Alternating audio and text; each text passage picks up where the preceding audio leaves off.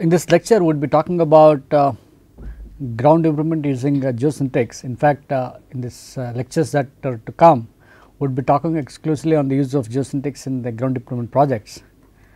Um, this is one of the spectacular materials that we have and um, uh, the we will be talking about in this lecture what is this uh, material and how it can be applied in many branches of civil engineering right from transportation, geotechnical, geoenvironmental, hydraulics.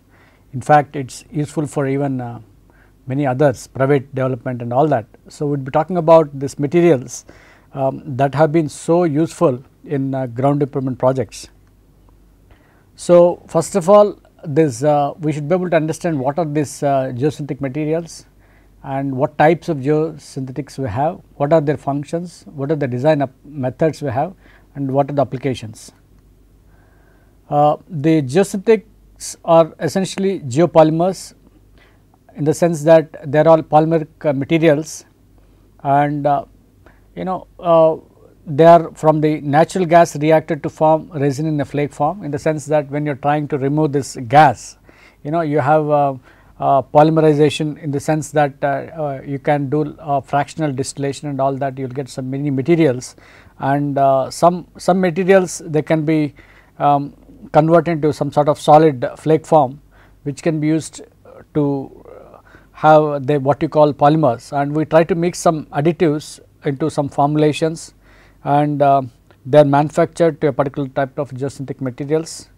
And uh, you have uh, what you call geotextiles, geogrids, geonets, geomembranes, geosynthetic clay liners, geopipes, geoforms and geocomposites. Anything that connects uh, ground and improves its performance ground performance essentially we are looking for ground performance in terms of the engineering applications.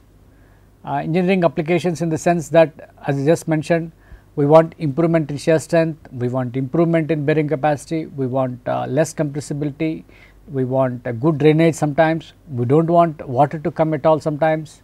So, all these things you know one you know you have a specific problem, you have a specific solution here um, that is an advantage here.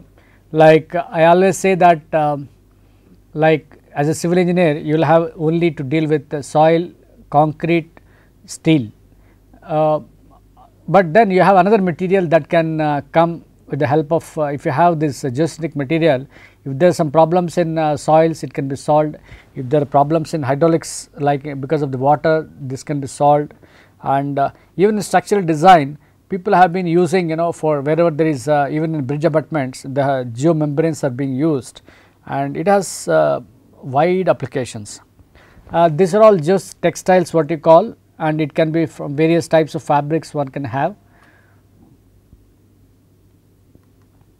And the geotextiles are normally they are from uh, you know you can have uh, many of the like it can be from many materials like polypropylene, polystyrene, PVC there are many uh, types of uh, polymers, but essentially we are trying to get uh, you know geotextiles are from um, the polypropylene fibers and then they have a standard textile manufacturing. In fact, many companies have this sort of um, um, textile manufacturing companies also manufacture geotextiles.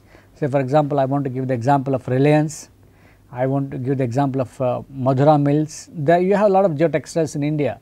So, many companies have this sort of fiber making uh, um, processes and uh, you divide them into wovens which are you know woven together like I will just show you some you know it can be a slit film, it can be a monofilament or a multi-filament like a single filament or a multi a number of uh, filaments together. It can be you know instead of weaving you know to a few strands together it can be even non-woven where we try to use uh, heat bonding to combine all of this material. Then we say that uh, they can be even uh, needle punched to stitch them together some of these materials are characterized by open and porous structure because you know geotextiles their uh, application is most of the time permeability and uh, separation. And uh, so we need this sort of open structure and porous structure. Then mechanical properties and hydraulic properties vary widely in the sense that you can design whatever mechanical properties you want, whatever hydraulic properties you want. you can uh, calculate and then give a design. See for example, if I want a bearing capacity of uh, just I mentioned you know 20 ton per meter square instead of 7 ton per meter square, I would like to increase the bearing capacity from 7 to 20. I can use uh, geogrids uh, to improve the bearing capacity. So, I can choose that um, uh, quality of the geogrids to improve that uh, bearing capacity. Even permeability is the same thing, they are very versatile in their uh, primary function, they are very effective. So, these are called geogrids like geogrids the difference is that it is a textile member.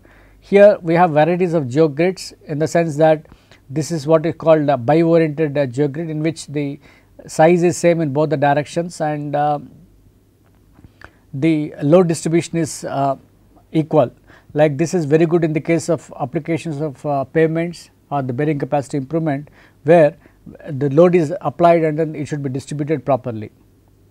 Then this is a, a mono oriented in the sense that tensile strength action is in one direction and uh, this is also very good in the case of reinforced soil walls or uh, slopes where the force of application is in one direction and you would like to improve the uh, stability. So, the geogrids are something that uh, we have a special type where they are unitized woven yarns or bond straps. Structure allows for soil strike through in the sense that uh, um, there is a soil to soil contact as well as soil to um, grid contact and um, they are bidirectional in the sense that you know I just mentioned equal in strength in both directions which is quite uh, useful in the case of uh, bearing capacity problems unidirectional the main strength is in uh, machine direction why these things are required is that the way they manufacture the manufacturing process is different and the pulling you know they you stretch actually these are all a chain of molecules of polymers and if you stretch them certain the strength increases in the direction. So, you have to um, mission your uh, system in a proper way that you get the appropriate numbers and all that. Focuses entirely on reinforcement applications like you know we are as I just mentioned we are looking only for reinforcement applications like you know where the bearing capacities uh, you wanted like or you know say reinforcement particularly in the case of uh, walls uh, that is what we see a lot of RE walls, steep slopes, base and foundation reinforcement there could be many things. Uh, you also have geonets which are a, uh, which are a combination of uh, this they have a hole and they are also um, for drainage also they are useful. These are some materials. Um, they are all again made from high density polyethylene results in parallel sets of ribs as integral unit.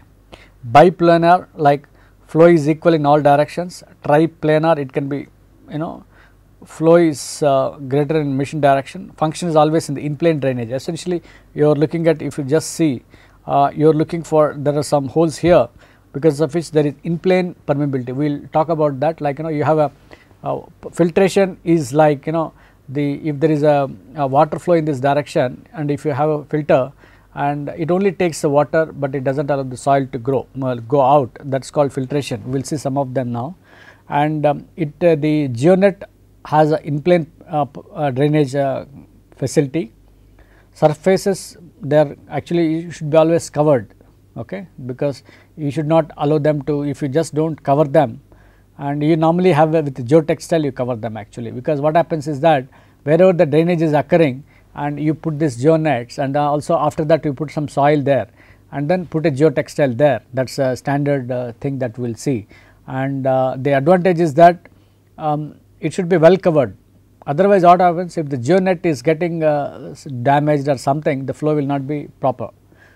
Okay. So, geomembranes is something that is very uh, excellent like we do not want in some places applications like you know water to come. You know water uh, geomembrane say for example uh, we have cutoff walls. In the case of dams you take a dam thing uh, dam structure you do not want underground water to go uh, you have an upstream side here and then the water should not go to the downstream side and if the foundation is somewhat permeable then is a problem. So, put a cutoff wall. People are using in the olden days bentonite slurry uh, walls and all that and uh, if you want to avoid that you can put a geomembrane we will see that and geomembranes can be of many types like it can be rough and it can be textured it can be colored and all that it is a number of applications of uh, uh, geomembranes are there. In fact, in dams, dams, landfills, too many. So, the geomembranes their advantage is that they are uh, they are always they contain whatever you know say for example, the permeability is uh, minus 14 you know the thing is you know about clays it is 10 power of minus centimeter per second, but then uh, these materials are almost impermeable in the sense it could be minus 13 which can be actually you can't even measure the permeability in a conventional sense. You have to measure the permeability using only the vapor absorption. How much of vapor they can absorb how much of moisture vapor uh, transmission can go through them. That is the way it can measure. But otherwise geomembranes it is not easy to um, I mean in a conventional there the sophisticated testing is required and their function is always containment represents a barrier to liquids and gases. Many types are possible like say canal linings you know for example in India lot of uh, seepage is there uh, in the canal and if you want you do not want to uh, the you know if there is a canal lining and the water you do not want to water to go out of the canal system. So, what we have in normal practice is that people have cement uh, concrete linings. If you go to Tungabhadra dam or Malaprabha dam and many of the dam sites, we have only this uh, uh material which is uh, cement concrete which are which, which are very expensive and they are failing. But if you have this sort of materials high density polyethylene and all that they are quite effective there are manufacturer rules are field seamed required by regulations for waste containment. In fact, even in government of India we have uh, rules which show that yes you have to use uh, landfills and for landfills you need to have geomembranes because um, you in the landfill contains lot of waste and leachate generator should not go to underground water and to prevent that uh, thing it is only the geomembrane that can be effective. What we call we have what is called composite liner in which you have a, a, clay liner plus geomembrane and uh, we use this uh, geomembranes in this sense. And of course, in uh, new applications in hydraulics and private development there are too many we will see that. So, another interesting product that we have in this uh, family of geosynthetics is that um, normally people are trying to provide clay liners what is called uh, geosynthetic uh, I mean what is called clay, clay liner in the sense that in the case of landfill in the old regulations they say that you have to put 90 centimeters of clay cover clay uh, liner uh, and uh, we are calculating that yes if you have that 90 centimeters and then if there is a head of water of uh, leachate of some number some 1 meter or whatever the hydraulic permeability of the clay liner go is going to be uh, say say for example some number 10 to power of minus centimeter. So, the amount of uh, leachate that gets transferred to the underground was supposed to be very minimum. That was uh, old calculations, but uh, people uh, observed that clay liner is not really very effective in the sense that it has lot of cracks and uh, it is not easy to maintain quality control in the field because the thing is that uh, the road contractors. We know that they they are not very good in compaction. And to get a very good permeability from uh, field compaction is not easy. And if you get high permeability the problem is that water gets contaminated or the leachate goes through the landfill. In order to avoid that you have what is called geosynthetic clay liner. So, which means that it is a small membrane in which you have a bentonite in between and uh, geotextile on either side and once this 90 centimeters of geosynthetic uh, the, the clay liner can be replaced by a simple member like this. This is an advantage here. So, the advant the function is that again their function is always a containment like in the case of a clay liner. Clay liners con, uh, containment you know they contain all the waste. Okay. So, when uh, clay liners are not effective better to use clay geosynthetic clay liners because they are all manufactured project uh, products. Um, so, the common product is a bentonite which is sandwiched between two geotextiles internally reinforced by needle punch or stitch bonding. In fact, uh, um, I will show you some materials where they are you know to uh, may maintain the integrity of the textiles in the bentonite they stitch together they have a needle punching as, as a stitch bonding. The bentonite product bonded to GM is also available sometimes instead of the geotextiles you can have one layer as a geomembrane and then a bentonite and then a geotextile. There are many variations they are very competitive in compared to compacted clay liners beneath a GM one has one has a composite liner. Normally um, uh, composite liner can be even a jet uh, clay the you know many of these products. The other one is what is called geopipe. Actually in many of the landfill applications uh, we are using uh, um, you know all the leachate has to come out of the pipes. Even our water supply pipes we call we do not call them geopipes.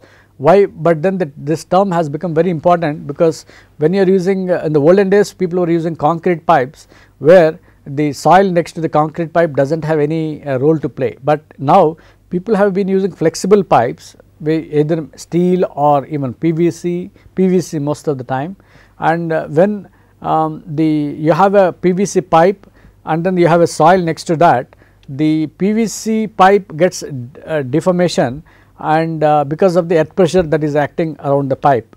So, because of the soil uh, reaction uh, there is a the it is a very beneficial effect it in fact the in the case of rigid pipes like concrete pipes we design uh, that uh, say for example if there is a, um, a rigid pipe exists at 3 meters and we design the earth pressure we design the um, rigid pipe for gamma b into height of into that overburden.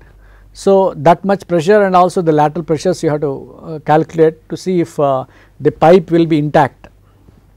Objective is to see that the pipe is in, intact, but then in the case of uh, uh flexible pipes because of the soil structure interaction uh, the load whatever is applied will not be totally uh, coming onto the pipe it could be what is called because of the soil arching and other conditions the load may be much less than uh, what you expect using gamma b into height into uh, that uh, particular you know 3 meters say for example what, that it will be much less because of the interaction. Okay? So it like uh, arch action is taking place because of that. So that way um, particularly in landfills and other applications if concrete pipes broke then it is very difficult to solve. So, whereas and then they should also they, they have little uh, tolerance to deformation. If uh, there is a small deformation concrete pipes fail. Whereas geopipes can take care of more deformation they can stand. So, that is the reason why you have some sort of flexible pipes like this here which are used uh, you know corrugated sometimes like you know you have some uh, sheets here. So, it is in fact the geopipe is nothing but a buried plastic pipe. The function is always a drainage of a leachate, high density polyethylene and uh, polyvinyl chloride. PVC is most common. If you go to lab or even Yeshwanthpur anywhere or any place in, uh, in you know most commonly PVC pipes are used. Both can be smooth walled or corrugated. Or corrugated high density growth is enormous. Nowadays high density polyethylene uh, uh pipes are quite uh, popular. There is another thing that is called geofoam in fact is another interesting material where uh, you can it is uh, it is uh, very uh, useful in many um, applications. Um, it is like a it is a uh, um, foamy material it is a very lightweight fill on soft and sensitive soils relieves lateral pressure on walls. It is also used for insulation of frost sensitive soils. Actually uh, it is another very important material. In fact um, its compressibility is quite low but at the same time it is easy to lift. Like you have seen that two people have taken it taking it carrying it. And uh, suppose the advantage is that um, it can be even used uh, for road applications. Many applications are there. We will see that and uh, there is another one what is called geocomposites. Geocomposites are nothing but two materials you know it had they are uh, glued together. And uh, one one can be a geomembrane at the top and the bottom it can be geogrid. Two functions can be joined together you know that is what is called. So, geocomposites can be you know it can be a geotextile geomembrane glued together geotextile uh, geogrid you know together. Like say for example geotextile can serve as a drainage material geogrid can serve as a reinforcement material. So, in this case geotextile can just act as a filter material or drainage material, geomembrane may not allow all that uh, water to go down. Geotextile and geonet. So, lot of combinations are possible and you have lot of innovations going on in this direction because um, you can really design what function you want like say for example you talk about a clay clay backfill the clay backfill the problem is drainage is not good and uh, you want to improve the strength so you can have a, a textile also you can have a geogrid also. Textile allows all the pore water pressure uh, dissipation. In fact, the other day I was just mentioning even you can put some charges electrical charges to see that they take all the water and then drain out like uh, electrokinetic uh, geosynthetics I was just mentioning the example. There are too many applications are there because when the soil is so soft and you still want to construct a retaining wall using the soft soil, there is no other alternative. So, these are all some innovations that have been possible. So, uh, I would like to just mention that uh, they have very good applications separation, reinforcement, filtration, drainage and containment they are main applications and uh, geotextile can be used for separation function and uh, also can be used for separation function and geocomposite. Separation means you know you are trying to uh, uh two materials you want to uh, say for example in the case of a pavement material you have a sub subgrade, sub base, base course and wearing course. You want all of these materials to perform their individual actions well and uh, but then what happens because of the load application on the traffic the uh, intermixing of layers do take place because if you just uh, a load is there and applied and then released the bottom material comes top and um, top material goes down. So, that sort of intermixing is possible you do not want to have such things because it is like bad plus good becomes bad. So, you would like to separate those two layers and see that they are intact so the function you know why what is the function in the pavement each member like bottommost member has a low strength next one has a higher strength next one has still higher strength like that. Uh, so in no way they should that should be diluted because load distribution is an important point in the flex uh, flexible pavement design. So if the load distribution is not there then the road uh, totally gets uh, damaged. So if you put a separate layer all the three la layers separately behave uh, for the and then they do their job properly.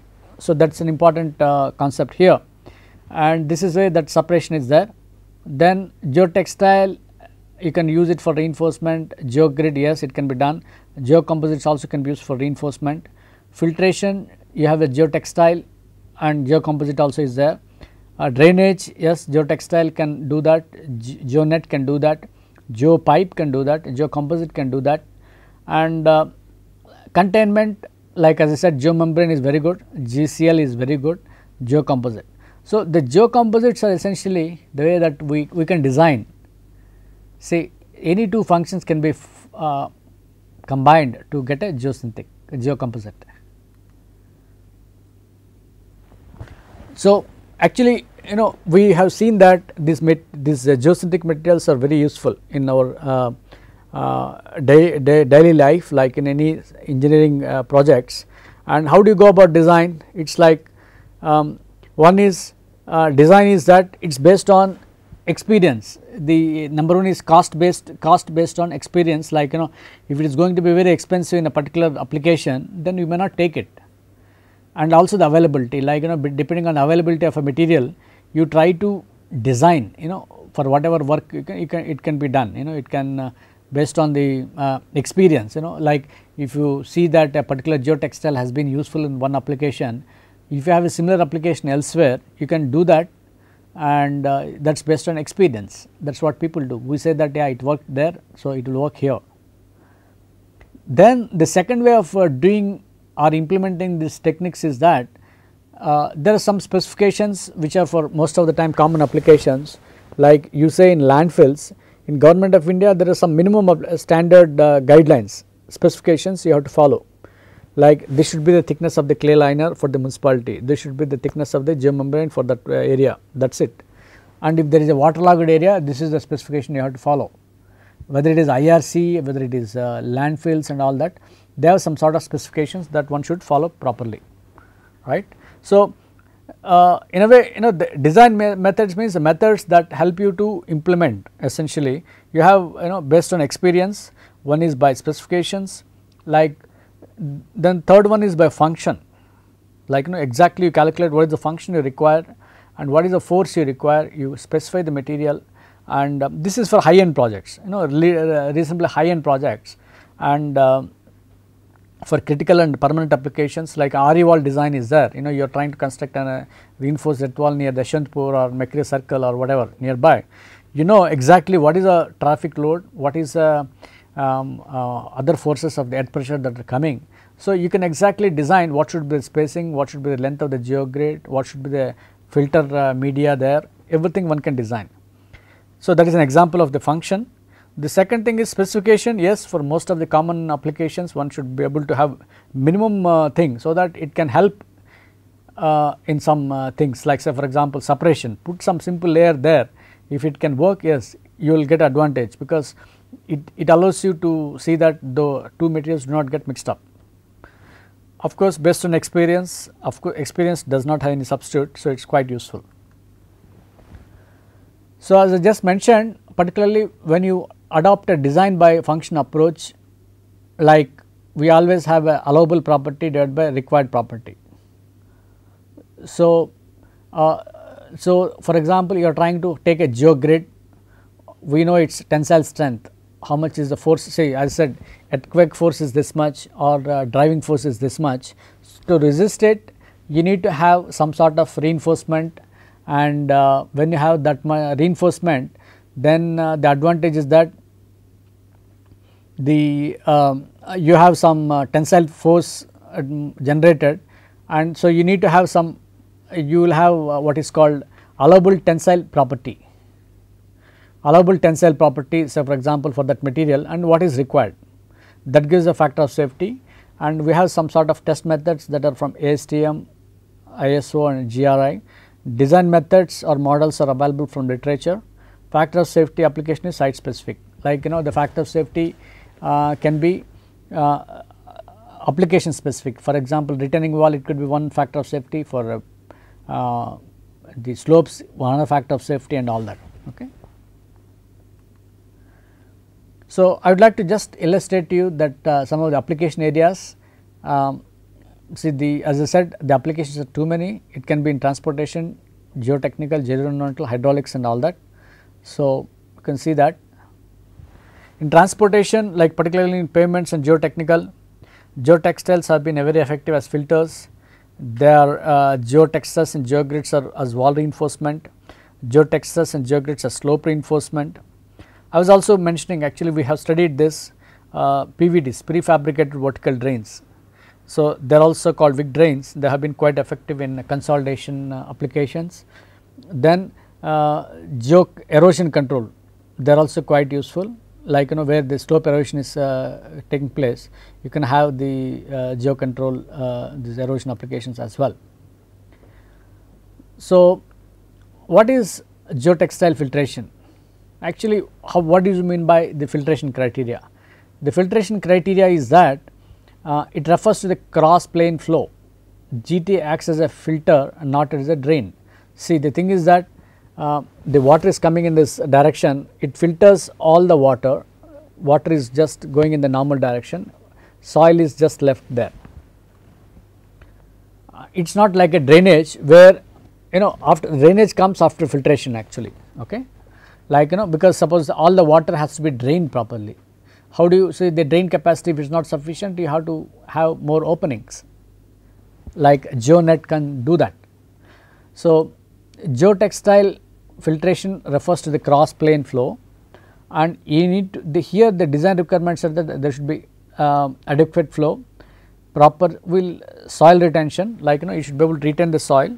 And also long term flow equilibrium you know you should be able to filter for a very long time. Say for example 20 years or whatever 10 years 5 years whatever. Because it is not easy. This is a very important concept particularly you know what happens in the long term the possibility is that uh, the filters get clogged you know. Most of the time that is what we see in water filters. The problem with water filters is that uh, in particular in household uh, uh items the soil gets like sm small uh, fine particles that you have in water gets deposited in the filter and that is the reason why you have to boil them quite often. That is what the, we, we, do at homes. But then in the geotextiles say that that is going to happen in the natural soils also if you are trying to use a, um, a gravel you know you use a gravel or a sand as filter. Sand you know you may say is a very good filter but over a period of time if the clay and sand gets mixed up then there is a probability that uh, uh, there is not a good flow in the long term. So, you put a geotextile in that place definitely it has a better performance and the other thing that we make a correction is that we try to really increase the size of the uh, opening size of the geotextile. We make a small allowance for the geotextile uh, even to a long run how much of accumulation of particles may take place and still we allow flow to take place. So, that is one thing. It is very good for retaining walls, erosion control systems and pavement drains. Number of examples like uh, you can have a pavement here, you have a material like this here, geotextile layer is here. So, you can have a system like this, right. Then when you are trying to talk about uh, reinforced uh, wall, particularly when you are talking about uh, uh, the flyovers and all that as I just mentioned, you are using geotextile or a geogrids here like uh, here.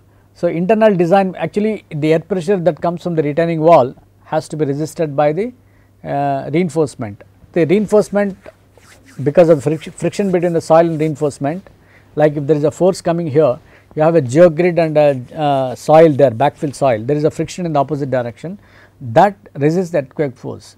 So, when you are trying to so when your internal design means what should be the spacing of the geogrids how much of spacing I should have and what is the length of the geogrids I should have. So, to calculate or the resist the earth pressure okay. So, that earth pressure uh, is based on the internal design. So, the spacing length and facing connection stress. In fact what happens I will show you that um, even some uh, force also like uh, comes onto the facing. How do you do that. So, this internal design. External design is uh, like similar to our retaining walls. We do overturning uh, stability sliding stability bearing uh, pressure calculations. And um, this is external stability this is internal stability and uh, since you are using uh, uh, geogrids uh, you have to calculate all these uh, numbers from the laboratory tests. So, you should know exactly what is allowable strength because you are designing the wall for its design life say for example 50 years or 100 years. In the case of steel reinforcement you give some sort of corrosion allowance and then uh, appropriately increase the thickness. In the case of geogrids may or geotextiles you should take okay it is going to serve as 100 for 100 years uh, so, the you should correct. So and then what happens with any of these materials? There is some immediate strength and it gets reduced over time. So, you should calculate that reduction in strength over time. Say for example, it can be 10 years, 15 years or 50 years or 100 years. That number should be used in design because you want it to stay for 100 years or 50 years or whatever. Then so the reduction factors and the reinforcement are important. The factor of safety is another important variable uh, like you know because finally um, for all the factors of safety you know like external stability internal stability then these factors are there one should be aware of that. This is a uh, simple example like as I just mentioned uh, like uh, this is a geotextile actually you know we call it this is a wrap around geotextile okay and uh, we know that this is a 45 you know we have studied that uh, the failure wedges can form in different uh, angles and all that. So, this is a 45 minus pi by 2 this is 45 plus pi by 2 this is a retaining wall and uh, you have a geotextiles placed like this like the way we will see how it is done also. So, you have a surcharge P1 this is a surcharge that say you try to construct some road there that is called surcharge. Then there is a live load, there is a concentrated load all of them will induce some sort of head pressures right.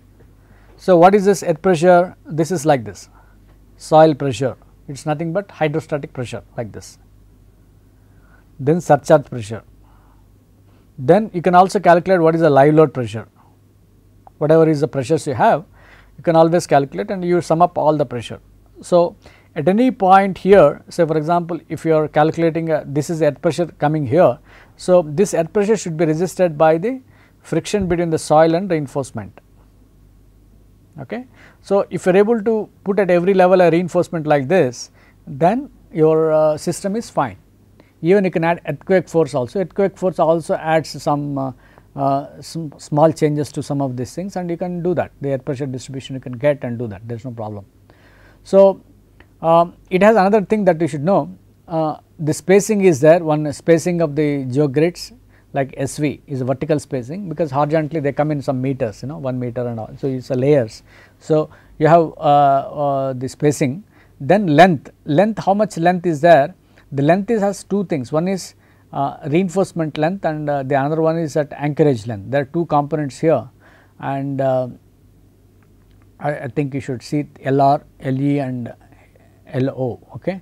So, what it means is that um, the uh, in some case the say for example, in this case uh, this is say take this case. This is a force and this is called active length. This is called you know uh, uh, passive length. You know there are two lengths here. We calculate uh, tensile force and see that this there is a resistance offered from this. It should be it should not slip. Reinforcement should not slip.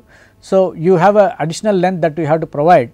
Say for example uh, tensile force is mobilized that tensile force has to be su sustained whatever is the tensile force um, uh, you know you should have a length here at least crude, uh, you know because of the friction between the soil and uh, geogrid uh, that force should be able to be twice the force mobilized in the reinforcement. We will see those calculations also subsequently and uh, we have to calculate every stage that the length of the um, uh, material should be such that the uh, there is a adequate uh, uh, length to satisfy these requirements of tensile force and pull out force. Actually the moment we put that length it should not come off easily you know length say for example if you provide if you think that you can only provide this much length no it is not possible you have to have this much length also to hold it this much length is also required to hold it this is what it means. So, the thing is that one other interesting thing is that the earth pressure is less here because you know you can see that the earth pressure is somewhat less, but because of the loading it is somewhat here more you know. Normally if you take uh, Ka gamma h or K naught gamma h their pressure is less here, but uh, because of the surcharge you know, it is here, but then but so normally you have to have a uniform length that we will see some of them or sometimes depending on now if the system is like this you can have variable length also. So, you can see that um, once you have a, a, a earth pressure T is taken care of by this the near the facing no earth pressure is minimum there is in fact there is no pressure. So, uh, but then you can't leave just the soil like that. So, you need to have some sort of erosion resistance some length of this geotextile coming like this. So, that that is what we have to provide some sort of length maybe 1 meter 1.5 meters. You take a geotextile put like this put like this. So, everywhere it is like that and uh, so this is uh, some sort of uh, um, length that can hold it down I mean so that that uh, thing is avoided and in some cases you know if the geotextile is normally you know um, uh, it is uh, for a permanent applications like uh, retaining walls with lot of loads we cannot have it. So, what we get we go for a concrete facing. So, you do for concrete facing or it can be any other facing because now the advantage of the facing is that you can design the facing in such a manner that the earth pressures we know that the earth pressures are very minimum here otherwise in one case you are trying to provide uh, say 1 meter you know the thing is like uh, we have some rules right if 7 meters is the height of the wall 0.4 times should be the base you know or top width will be some 0.1 h or something like that. If you just see the specifications of the retaining wall you have to provide a minimum thing like that which leads to lot of uh, cost uh, implications in terms of the heights and all that. In fact, I have a case in uh, somewhere uh, where you know in some place in Andhra Pradesh where 35 meters is the height of the retaining wall. If you want to create a base width for that it will be about 35 means about at least 20 meters if you take horizontal and all. 18, 18, 15 to 20 meters you have to provide base width which is quite expensive. Whereas with this type of technology and with this type of thing it is going to be very effective. Okay. Now uh, you also have a number of types here in the case of RE walls. Like uh, uh, this is we call them tied walls okay? And um, wall facing can be like anything. Like they are called modular blocks. In fact the advantage of you know one can have a facing of a full fa full facing or even modular box the advantage of the modular blocks is that one can easily lift it and all that whereas in the case of uh, uh, panels like this which we have bigger panels it could be little more uh, labor intensive whereas this can be handheld and done simply you know like an artist. So, the advantage is that this is what is called we call them as segmental walls or modular blocks because the mod blocks are modular in nature and then they it refers to actually any type of wall uh, facing can be having uh, aesthetic blocks you can have. And uh, it is a very important uh, uh, use of uh, advantage here you know. We call it modular blocks. And the, you have computer programs also. Nowadays if you buy from a particular company they will show you um, what the software they have. The design philosophy is same. Like you know, at pressures have to be resisted but then if you are trying to put different types of facing facing should not uh, facing should be very good. So, they only suggest the facing they only so you can even check you know or you can uh, you may have a lot of choices of facings you can chase uh, you can pick up one type of facing which suits the aesthetics and also design the connections properly we will discuss some of those things later but then even uh, connection design of the like say for example uh, you may have a facing here facing here the uh, connection design between the reinforcement and uh, the facing is important. So, that is about RE walls which is has a maximum applications uh, it is too many and uh, maybe you may have 50,000 or many number 50 many number of walls in India which are uh, quite effective particularly in the recent maybe 10 to 15 years that it has taken a very big jump. Then reinforced soil slopes. We know that soils cannot be uh, made steeper you know they have an angle of repose like say for example the you can go is to 2 is to 1 slope like more than 26 degrees if you go then it slides right. So, one way is to put some sort of reinforcement to increase the slope angle or the height. Essentially there is no limit for the erosion and various placement patterns are plausible. Like what you are trying to do is that you can have a, a, a material here okay? Like uh, which can be even it, it can be 70 degrees 80 degrees. There is no problem about it. And uh, this is the you know you can have depending on the uh, loads and all that you can have a uh, uneven spaced and even length. You can have many even spaced even length with short facing. There there can be many possibilities are possible. And essentially what you are trying to do is that we know that the failure surface or the wedge tape can occur and if you are able to place this reinforcement properly then that, that type of failure can be avoided. There are also failures I mean particularly you know we have seen many failures. See here with the with reinforcement the slope can be as steep as 9 85 to 90 degrees reinforcement slopes are possible like you can see that it is very steep maybe 70 degrees here maybe 85 degrees here. Uh, this we have seen geocomposite drains. They are also called prefabricated vertical drains. They allow uh, rapid consolidation of the saturated fine grained soils. And it consists of a drain core as I showed you which is uh, a drain core and also the filter. And they are just 100 mm by you know thickness is also very small. And you can see that they are all uh, small materials. You have a mechanism to drive hole drive the PVDs and these are all the PVDs Then you also have geocomposite erosional, uh, erosion control systems because erosion is one of the biggest problems in uh, soil soils. Because particularly when there is no overburden at the top say for example say there is no overburden here there the soil particles has a tendency to fall off very easily because of rain or wind or anything so, you will have a lot of erosion and erosion leads to a lot of problems because in the case erosion of slopes, slope is a structure that has been designed in a geotechnical sense and if the slope is uh, falling off or the soil material at the top of the material is falling off then it is unstable like. So, what we do is that we try to use some sort of materials uh, geo control geo composite erosion control systems we cover them you know in all the materials for like say for example slope protection, channel protection, they can be permanent, they can be temporary, there can be many variations that are possible to control erosion.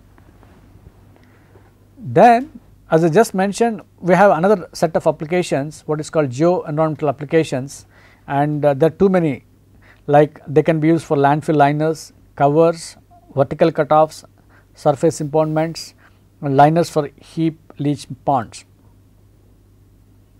Uh, we know that waste is an, uh, an, issue that everybody has to address and uh, on the waste if the precipitation occurs it generates leachate. Leachate takes characteristics of the waste and the leachate is a highly variable and uh, site specific and the flow is always downwards and we should see that the groundwater is not contaminated because of this uh, leachate uh, travel and you need a suitable barrier and a clay leachate collection system.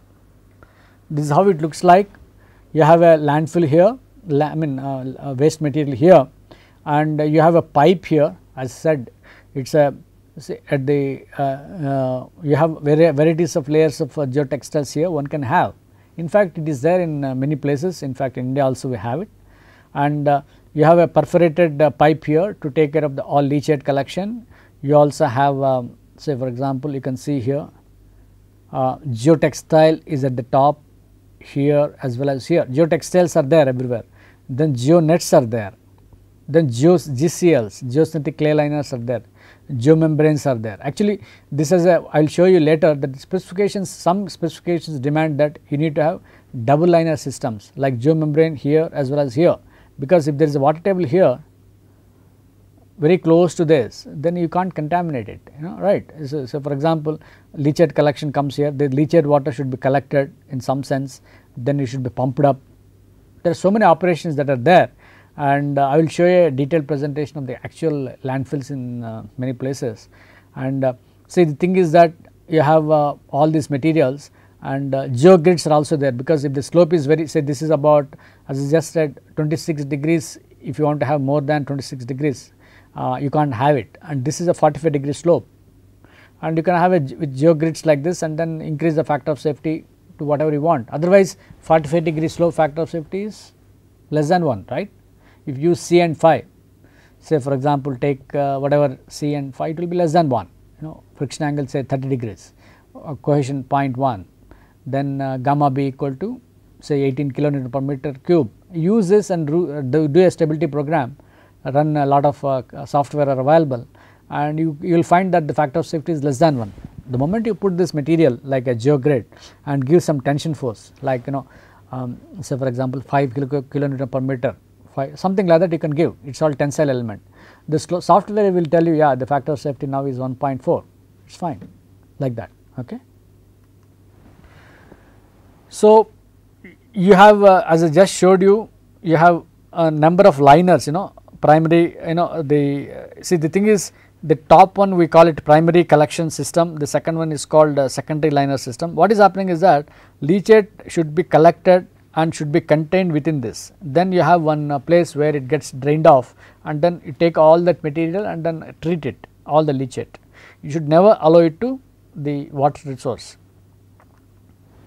So for that um, you have a secondary liner systems in the field. That is how it is installed and uh, you have a leak leak, leak geonet leak detection systems like you know you in fact you will have a lot of sensors in the field.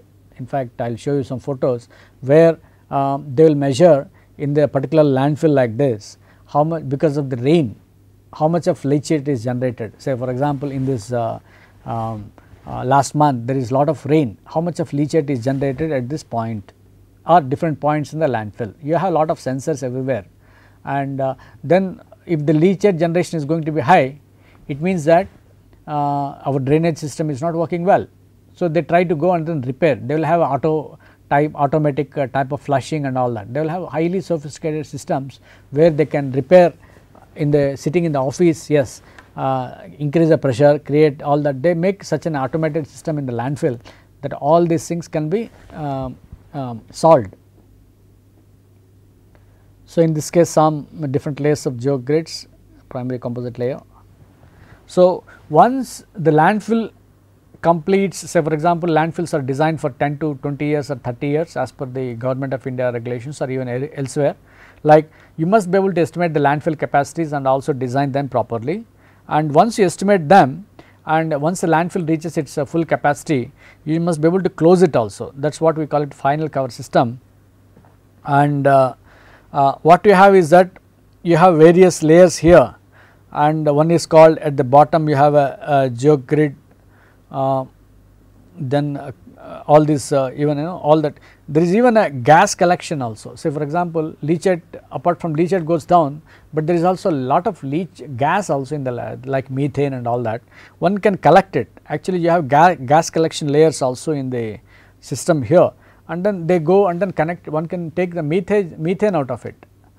So, uh, then cover soil is there this is again to increase say the stability of the uh, cover soil you have a geogrid here then we have an erosion control mat like a nice green cover at the top okay. So, you should buy it is very clear that the landfill is a containment system which has lot of geosynthetic materials at the sides as well as at the top they are very useful actually otherwise it is very difficult. Uh, these are some examples of you know a, a big uh, area in some place where uh, landfill is being uh, you know treated an aerial view. I will show you some more photos in uh, some cases. A sequential filling up of the geosynthetic layers and there could be many layers of geosynthetics as you saw just now like you know you saw different layers 1, 2, 3, 4, 5 something like that. So, there, there could be many products. So, you can have if you want to really design properly and you should be able to take advantage of uh, some of these things and it should be a safe. Finally the advantage of landfills is that they should not contaminate the groundwater resources. It should be able to operate very well. In fact i have seen landfills which are quite uh, useful like uh, people are generating a lot of uh, waste gas from that and uh, supplying to their own town a town supported by the landfill gas a small town if somebody is very shrewd and intelligent some can somebody can do that and uh, for some of these uh, to, to ensure efficient operation of the landfills you need to have geosynthetics this is a small example how we can have different layers in the landfill. And uh, the another important application is that uh, see you have already a waste material and uh, you do not want to allow that the waste material travels to a lot, lot of distance you what you call I just said cut off walls. Cut off walls means they should avoid the flow so, there is an abandoned dump and there is lot of infiltration of uh, water and then that uh, uh, because of the uh, leachate generated on the from the dump uh, one should see that that leachate should not go to the nearby say agricultural lands for example. So, one can have a sort of a geo membrane layer like this. This is used, utilized at abandoned dumps for the control of polluted groundwater typically placed in a slurry support trench with soil or cement, soil asphalt or soil fly ash as backfill right okay. The backfill both geomembrane plus this is a geomembrane you can see that you have a backfill material here. The system is greatly enhanced with the geomembrane is placed up the gradient thereby forming a vertical composite liner system. So, you try to put a material like this in this form and uh, you know you are trying to create a barrier or a cutoff. So, there is an excellent system which uh, is uh, quite good we will see some of them later. So, some, some places it can be used for surface impoundments like in the case of geomembranes there, there are many issues that uh, like you know geometry, cross section, geomembrane selection, thickness, subgrade stability, cover soil stability and all that we will see that. Uh, in some lined you know the thing is that uh, in some waste in industries some industries what happens is that um, a lot of uh, leachate in, they have to store. Like if you go to some chemical industry uh, there is a lot of waste fluid. They have to store it in some ponds. Okay. So that ponds you know they will have a double line hazardous waste pond. Like in this case this particular pond has two liners. Okay? And uh, suppose you do not put a proper lining the possibility is that the geomembrane may just get up uh, and then there could be a lot of problems. And there see the thing is that the geomembrane has to be laid on a subgrade you know. It can't be just laid as it is. You have to have some sort of uh, sand uh, I mean soil cushion then compacted properly and put a geomembrane and if you do not put a properly geomembrane like you know because the soil uh, interaction between the soil and uh, geomembrane the friction coefficient could be less. So, it may slip off. I have seen cases where it slipped off because of the rains. And once you if something failure occurs then it is very risky.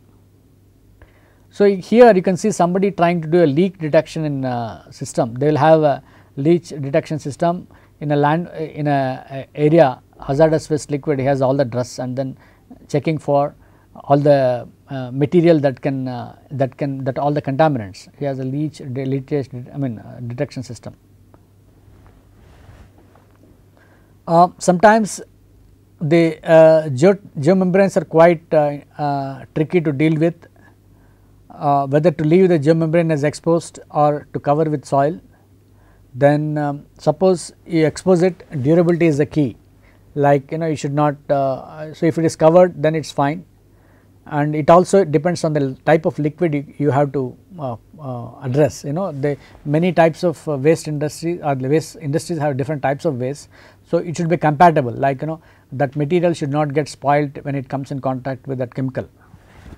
So, if uh, geomembrane slopes are there slopes will be relatively flat as I just mentioned the friction between the geomembrane soil is going to be less and if it, it can be even less than your uh, friction angle of the soil itself. So, the slope will be a little flatter.